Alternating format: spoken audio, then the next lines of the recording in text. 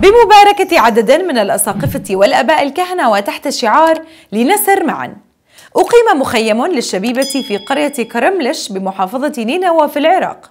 ابتدأت فعاليات المخيم بكلمة ترحيبية من قبل السادة الأساقفة. مشجعين الشبيبة على الانفتاح على الآخر وإبداء الرأي دون خجل. كما تضمنت فقرات المخيم عدة نشاطات وفعاليات. منها فقرة عيش الحب وصلاة السجود للقربان المقدس ورتبة التوبة. ومشاركة الشبيبة بوضع بصمتهم على العجين الذي استخدم لصنع القربان المقدس. هذا وقام الشبيبة بعدة جولات داخل قرية كرملش شملت مزار القديسة بربارة. ثم انطلقوا إلى قرقوش لزيارة عدة كنائس فيها.